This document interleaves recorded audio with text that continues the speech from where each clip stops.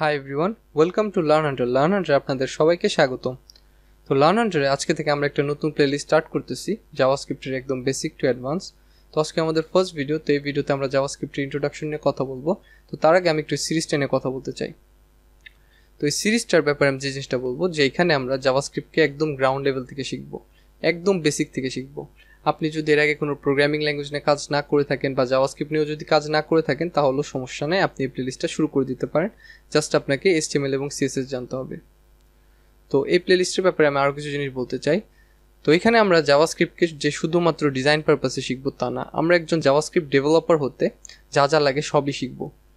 তো এই প্লেলিস্টে আমরা ফার্স্টে জাভাস্ক্রিপ্টের বেসিক শিখব, তারপর আস্তে আস্তে আমরা আরও আগাবো, তারপর আমরা জাভাস্ক্রিপ্টের অ্যাডভান্সে যাব তো অ্যাট লাস্ট আমরা কিছু beautiful real world application create করব জাস্ট কোর জাভাস্ক্রিপ্ট দিয়ে। তো কোর জাভাস্ক্রিপ্ট দিয়ে যখন আমরা অ্যাপ্লিকেশনগুলো ক্রিয়েট করব, তখন আমাদের কোর ল্যাঙ্গুয়েজটা নিয়ে একটা প্রফিসিয়েন্সি ক্রিয়েট হয়ে যাবে।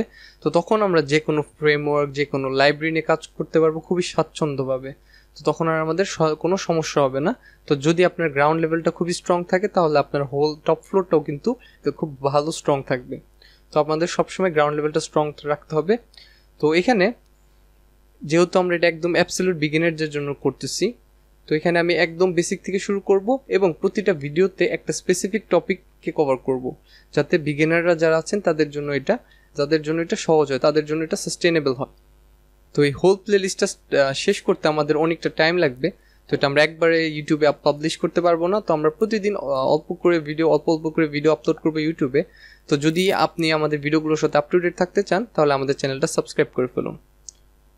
তো আমাদের ইন্ট্রোডাকশন পার্টে যাওয়ার আগে আমি এখানে আরেকটা জিনিস বলে দিতে চাই।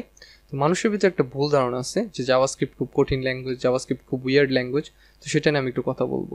জাভাস্ক্রিপ্ট কোনো উইয়ার্ড ল্যাঙ্গুয়েজও না জাভাস্ক্রিপ্ট কোনো কঠিন ল্যাঙ্গুয়েজও না। জাভাস্ক্রিপ্ট খুবই বিউটিফুল জাভাস্ক্রিপ্ট খুবই বিগিনার ফ্রেন্ডলি একটা ল্যাঙ্গুয়েজ তো যারা অন্য কোনো ল্যাঙ্গুয়েজ থেকে জাভাস্ক্রিপ্টে শিফট করতে আসেন বা যারা বা যাদের শিখার ওয়েটা ভুল, তাদের কাছে জাভাস্ক্রিপ্ট কঠিন লাগবে। জাভাস্ক্রিপ্ট খুবই সহজ এবং বিগিনার ফ্রেন্ডলি একটা ল্যাঙ্গুয়েজ তো আমার এই সিরিজটার মোটিভ হবে যে আপনাদের সামনে জাভাস্ক্রিপ্টকে যতটুকু সহজ করে সম্ভব, ততটুকু সহজ করে রিপ্রেজেন্ট করার।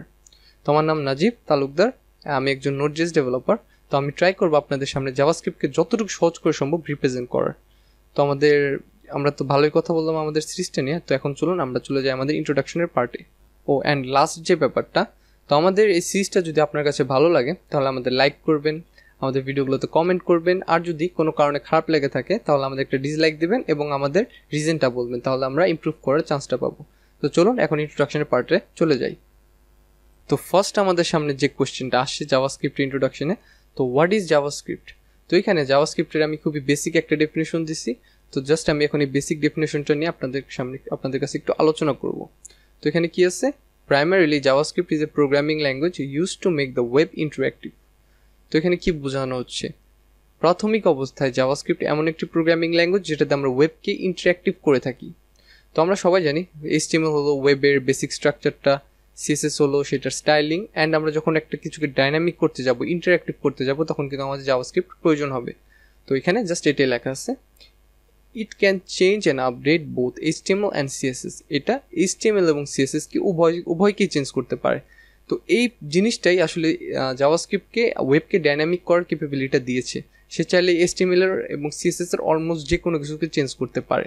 তো এই ব্যাপারগুলো আমরা প্র্যাকটিক্যালে দেখব। তো নেক্সট লাইনে যাই। And has the ability to calculate manipulate and validate data তো জাভাস্ক্রিপ্টের ডাটাকে ক্যালকুলেশন ম্যানুপুলেশন এবং ভ্যালিডেশন করার ক্যাপাবিলিটি আছে। তো ক্যালকুলেশনটা তো খুবই সহজ জিনিস, সেটা আপনারা বুঝতে পারতেছেন। অ্যান্ড ম্যানুপুলেশনের ব্যাপারটাতে আসি। তো ম্যানুপুলেশন জাস্ট কিছুই না আমরা যখন একটা ডাটার ডাটাকে চেঞ্জ করব, তো তখনই সেটাই সেটাকে বলা হবে ডাটার ম্যানুপুলেশন তো সেটাকে ডাটা ম্যানুপুলেট করা বলা হয়। তো এখন আসি ভ্যালিডেশনের পার্টে তো ভ্যালিডেশন আমরা একটা সিম্পল এক্সাম্পল দেখতে পারি। তো ধরুন আপনি একটি ওয়েবসাইটে গেছেন, তো ওয়েবসাইটে আপনাকে একটা ফর্ম পূরণ করতে হবে। তো সেই ফর্মে ইমেলের জায়গায় যদি আপনি আপনার নামটা দেন, তাহলে কিন্তু আপনাকে একটা মেসেজ দেবে যে এন্টার ভ্যালিড ইমেল তো সেই জিনিসটাই আমরা আসলে জাভাস্ক্রিপ্ট দিয়ে করে থাকি। আমরা সেটা, আমরা জাভাস্ক্রিপ্ট দিয়ে ভ্যালিডেশন করতে পারি। তো এখানে আমরা খুবই একটা বেসিক ডেফিনেশন জানলাম। আমি চাইলে হচ্ছে একটা ডিটেল ডেফিনেশন আপনাদের সামনে রিপ্রেজেন্ট করতে পারতাম বাট আমি করি নাই, সেখানে অনেক কম্পিউটার সায়েন্সের অনেক ফ্যান্সি টার্ম থাকে, যেগুলো অ্যাবসলিউট বিগিনাররা বুঝতে পারবেন না। তো এটাই ছিল ব্যাপার। তো নেক্সট স্লাইডে চলে যাক। তো আমাদের নেক্সট স্লাইডে আমরা একটু হিস্ট্রি জানব জাভাস্ক্রিপ্টের তো জাভাস্ক্রিপ্টের হিস্ট্রিটা খুবই মজার, পড়ে শোনাই আপনাদের। JavaScript was invented by Brendan Eich in nineteen ninety five তো জাভাস্ক্রিপ্ট উনিশশো পঁচানব্বই সালে ব্রেন্ডেন আইক নামক একজন ডেভেলপার তৈরি করেছিলেন। He develop this language for Netscape Navigator web browser which was the most popular browser of that time তো তিনি এই ল্যাঙ্গুয়েজটাকে ডেভেলপ করেছিলেন নেটস্কেপ ওয়েব ব্রাউজার একটা ব্রাউজারের জন্য, যেটা সে সময় খুবই জনপ্রিয় একটি ওয়েব ব্রাউজার ছিল।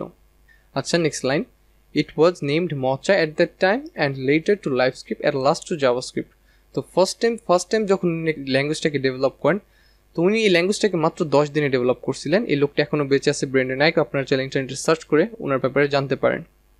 তো উনি যখন ফার্স্ট টাইম এই ল্যাঙ্গুয়েজটাকে ডেভেলপ করেন, তো তখন এটার নাম ছিল মচা।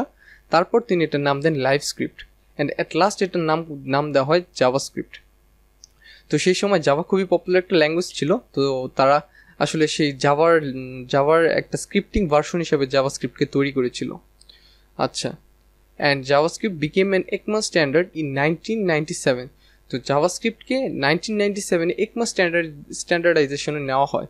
তো একমা একমাটা কি বা একমা স্ট্যান্ডার্ডটা কি সেটা আমরা জানব। আচ্ছা since ECMA has continuously updated JavaScript to new versions like ES one ES two ES three ES four ES five ES six and more তো তারপর থেকে একমা তো জাভাস্ক্রিপ্টকে যখন থেকে একমা স্ট্যান্ডার্ডে নেওয়া হয়েছে, তারপর থেকে একমা এটাকে প্রতিনিয়ত আপডেট করে চলেছে নতুন নতুন ভার্সনে ES one ES two ES three ES five and more তো এখন একমার লেটেস্ট ভার্সনটা হলো ইএস ইলেভেন তো এখন আমরা জানব একমা এবং ইএসটার ব্যাপারে। আচ্ছা তো এখন আমরা জানব একমা কি এবং একমা স্ক্রিপ্ট কি। তো চলুন ফার্স্ট জানি একমার ব্যাপারে। ECMA European Computer Manufacturers Association is a non-profit organization that develops standards in computer hardware communications and programming languages ECMA European computer প্রস্তুতকারীদের একটি সংস্থা, যেটা নন প্রফিট যেটা আসলে টাকার জন্য কাজ করে না। তো তারা কি করে? তারা আসলে স্ট্যান্ডার্ড ক্রিয়েট করে রুল সেট ক্রিয়েট করে কম্পিউটার হার্ডওয়্যারের জন্য কমিউনিকেশন টেকনোলজির জন্য প্রোগ্রামিং ল্যাঙ্গুয়েজের জন্য।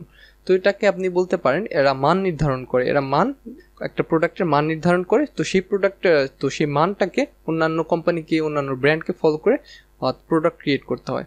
তো এটা আমরা আপনি বাংলাদেশের বিএসটিআর মতো মনে করতে পারেন।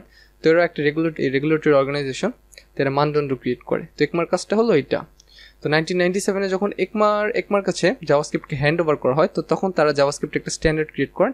তো সেটাই সবাই আসলে ফলো করে। আচ্ছা তো এখন আসি একমা স্ক্রিপ্টে তো official name of JavaScript is ECMAScript তো নাইনটিন নাইনটি সেভেনে যখন আসলে জাভাস্ক্রিপ্টকে একমার কাছে হ্যান্ড ওভার করা হয়, তো তখন এটার অফিসিয়াল নেম তারা দেয় হলো একমা স্ক্রিপ্ট তো একমা স্ক্রিপ্ট এইটাকে আমরা এখানে শর্ট ফর্মে ইএস বা ইএস টু ইএস ওয়ানের এভাবে আমরা দেখতেছি। এখানে ইএস ফোর ইএস ফাইভ তো আমরা জাভাস্ক্রিপ্টের লেটেস্ট ভার্সন সেটা হলো ইএস ইলেভেন অ্যান্ড জাভাস্ক্রিপ্টের মেজর দুইটা ভার্সন হলো ES five and ES six এগুলো নিয়ে আমরা আরও সব নিয়ে আমরা জানব। তো এই ভিডিওতে যদি আমি একটু সামারাইজ করি যে আমরা কী কী শিখলাম, কী কী সরি আমরা কী কী জানলাম, তাহলে আমি দেখতে পারব। তো ফার্স্টে আমরা জাভাস্ক্রিপ্টের একটা বেসিক ডেফিনেশন জানছি। তারপর আমরা জাভাস্ক্রিপ্টের একটু হিস্ট্রি জানছি অ্যান্ড এখানে আমরা একমা কি এবং একমা স্ক্রিপ্ট কি, এটা জানলাম। তো এই ভিডিওতে এই পর্যন্তই থাকছে, দেখা হচ্ছে নেক্সট ভিডিওতে নতুন একটা টপিক নিয়ে।